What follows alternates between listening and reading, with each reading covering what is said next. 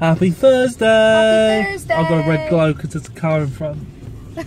I look tanned. You're glowing. Are you pregnant? Um, I'm off to a gig. I'm off to do my gig. Uh, you may or may not know, I am in a band. So yeah, that's what I do. I'm not. I play drums. I don't. And here's all my drum stuff behind. Yay, so my car is full of crap. Yay, and I'll be in here for weeks. Yay. Yay. Because he never removes So it. we're playing in Reading, which is like the nearest decent place to, for live music. Is it decent? It's just half decent. Is it? It is decent. Alright. Uh, I'm playing a nightclub called Sakura. Um, headlining, yeah. Play like rock music. So if you're into rock music, go check out the link below. Headlining. Yeah, I am headlining. Make it sound like Don't this. spoil my dream, okay? headlining of three rubbish bands. They're not rubbish either. They're not. This one doesn't like music. She used to when oh, I first met her. I remembered something. When I, when I first met her, there's the story of how we. f- This is what the title's gonna be. The story how we met. Oh lord. I like nearly broke her face.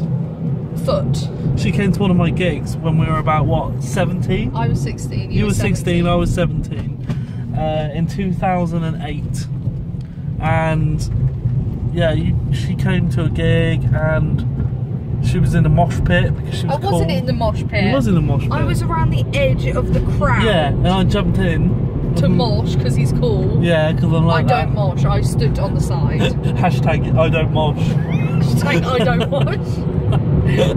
that is the title of the video. Yeah. Um. So yeah, then you came and started talking to me on MSN, and Well, no, because what happened was he was too busy paying attention to the crowd. He took a few steps backwards, stood on my foot, and elbowed me in the face, and nearly broke my foot and face. So I then messaged the band on MySpace because MySpace was cool then, and was like, "Hey, my face. Your your stupid vocalist stood on my foot." And then he apologised, and then we started talking on MSN Messenger. And then it all came from then. Aww. And I went. That's the same year I went to Florida with you. No, it wasn't. It was 2008. We It met in was. 2007. No, but when we started going out, Yeah, but that I went to that Florida the same in, year. But that story you just told happened in 2007. Did it? Yes, Oh, okay.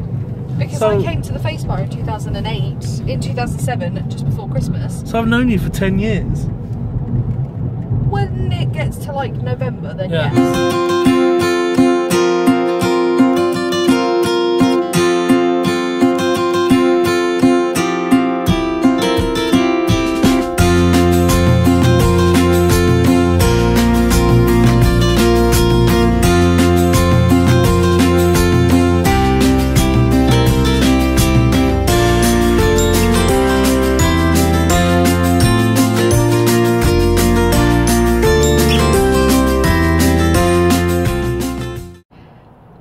So as you know, I've just dropped Aaron off at his gig, as we just mentioned, and I have just seen that a teaser trailer has dropped for Coco, the new Disney Pixar film. So I haven't seen it yet. I'm gonna go watch it, and I'm gonna tell you what I think, and then oh, I'm so excited. Oh, I do love it when a new trailer drops for Disney. Hmm.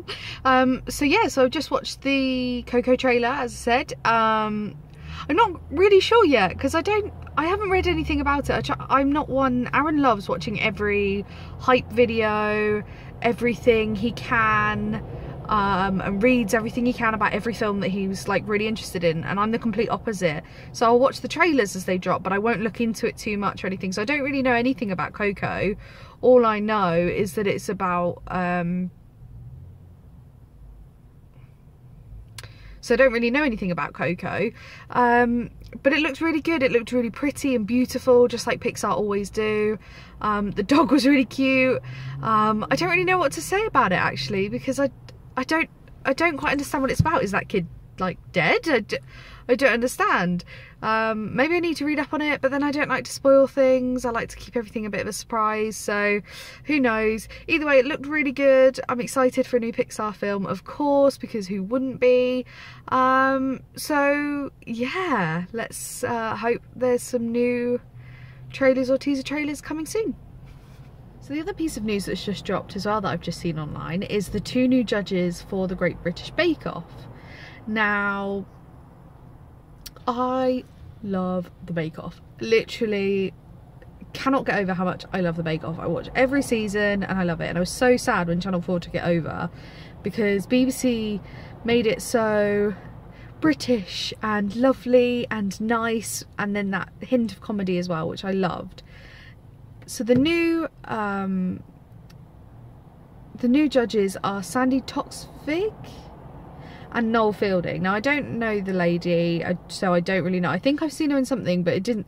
I think she was quite. Um, I don't know. I, I think I've seen her in something, and I don't think the style of comedy was my favourite. Noel Fielding I know very well, and I think he's a funny person. I like him, but my problem is, is he's not what the type of comedy I want for the British Bake Off. He's a bit more slapstick and this is supposed to be kind of puns and I love Mel and Sue, so I'm sad. But I'm curious to see what it's like, but I don't have high hopes now. I didn't think I did anyway. But now I've seen the host, I'm kind of like, what is this? Hmm. So who knows? I'm going to give it a chance. I'm going to watch it. There's nothing going to stop me watching it. But I just hope it's good. Hmm. I hope so.